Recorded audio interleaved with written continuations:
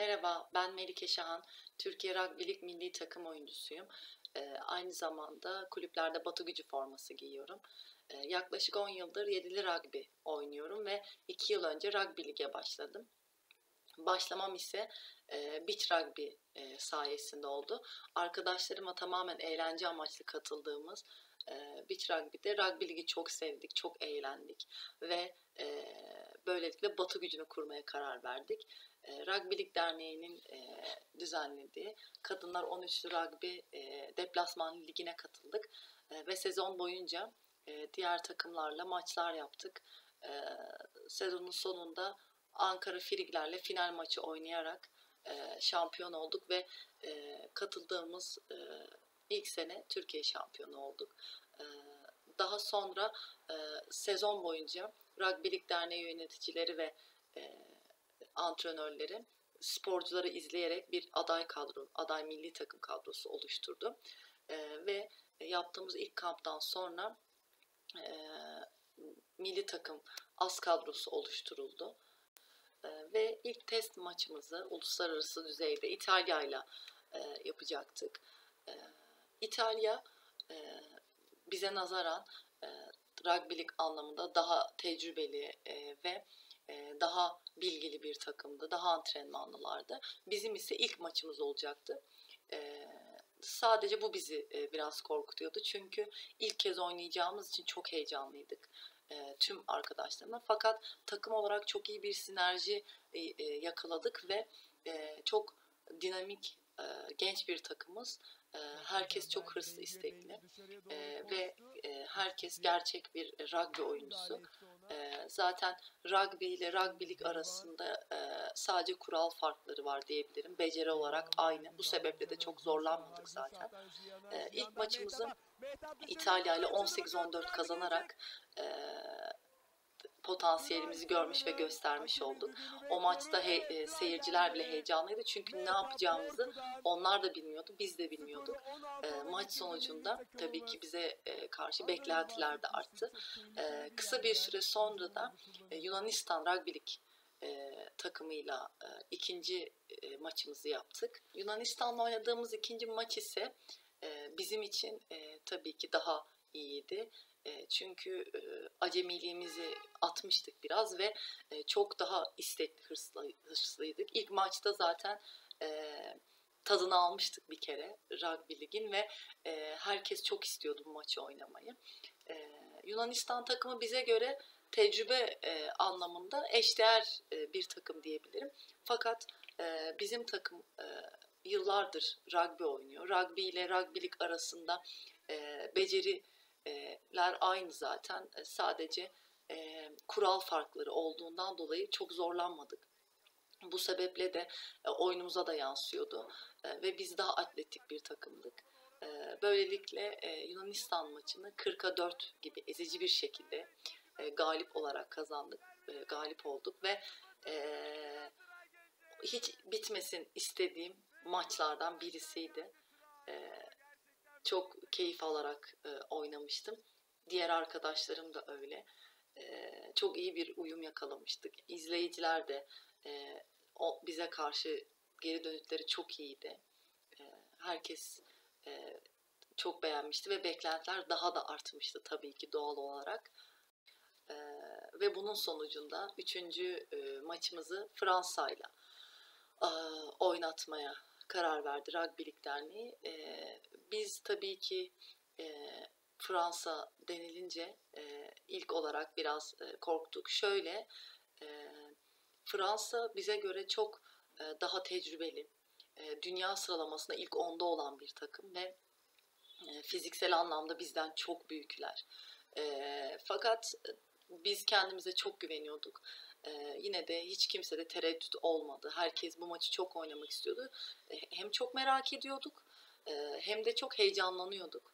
E, ve e, daha sonra e, Fransa'yla e, çok güzel bir sahada, çok güzel bir ambiyansta maça çıktık.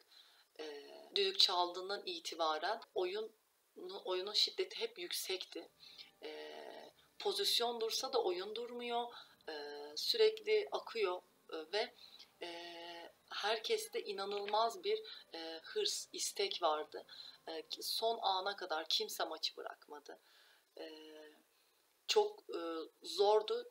Fiziksel olarak bizden çok büyük oldukları için durdurmamız çok zor oluyordu. E, bazen bir kişi, dört kişi falan, dört beş kişi bile tuttuğumuz oluyordu.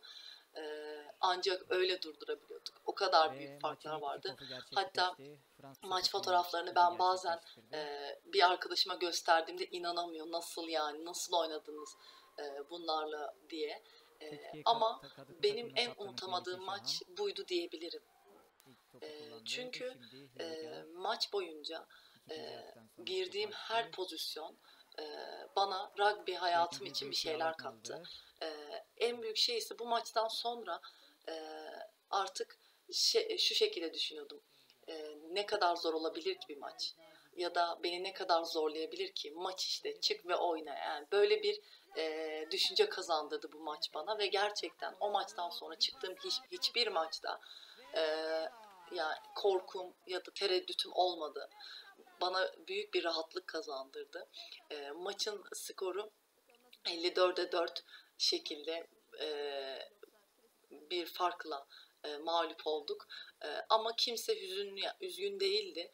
E, çünkü e, hepimiz için e, tarifi zor bir tecrübeydi bu. Yani herkesin e, oynayabileceği bir maç değildi. E, maçın sonuna kadar kimse oyunu bırakmadı. Hep birbirimize destek olduk ve e, rakipten yana kötü bir e, şey de görmedik. E, gayet centilmence oynadı onlar da. Onlardan çok şey öğrendik ve e, takım olarak da e, daha çok e, bağladı bizi bu maç. E, Fransa maçı ile ilgili unutamadığım bir anı olarak e, düşünürsek e, aslında tüm maç benim için unutulmazdı. Yani şu anı, e, şu pozisyon diyebileceğim spesifik bir şey yok ama mesela Derya e, arkadaşımızın başı kanıyor, bir darbe almış, saçı kan içinde, kıpkırmızı. E, sağlık ekipleri onu dışarı çıkartmaya çalışıyor. O farkında bile değil başının kanadığının ve e, çıkmak istemiyor. E, öyle bir adrenalin ve tutku vardı ki maçta. Yani kimse e, herhangi bir e, acısının, işte bir darbenin, e, hiçbir şeyin farkında bile değildi. E, o maç bittiğinde e, benim bir adım daha atacak, bir hamle daha yapacak e, enerjim kalmamıştı. Çünkü yüzde yüzümü vermiştim ve diğer tüm arkadaşlarım da aynısını yapmıştı. E, bu sebeple e, kimse maç e, skorunda bir pişmanlık yaşamadı. E, ve bize e, kattığı belki de en büyük şey e, bu tutku ve bu mücda- mücadele duygusu e, kesinlikle e, kendimize olan özgüvenimizi çok geliştirdi ve e, oynayamayacağımız hiçbir maç yok diye düşünüyorum artık. E, böylelikle e, ilk e, uluslararası sezonumuzu bitirdik ve e, Rugby Lig'de ilk yılımız olmasına rağmen e, uluslararası arenada biz de varız dedik ve e, gerçekten e, çok beğeni topladık.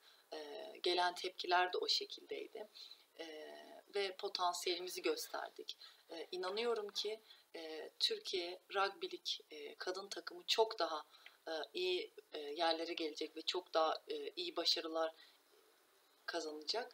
E, umarım Türkiye'ye rugby ligi e, daha çok duyurarak, tanıtarak ve sevdirerek e, yolumuza devam edebiliriz. E, bunun için biz elimizden geleni yapıyoruz.